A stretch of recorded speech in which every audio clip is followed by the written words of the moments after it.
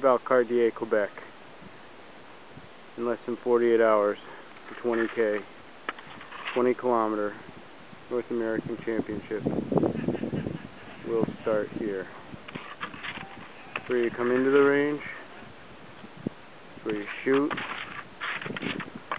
No penalty loop in the 20 kilometer. The 20 kilometer race is the most hard, demanding, mentally and physically race in all country skiing. We go past the area the penalty loop is.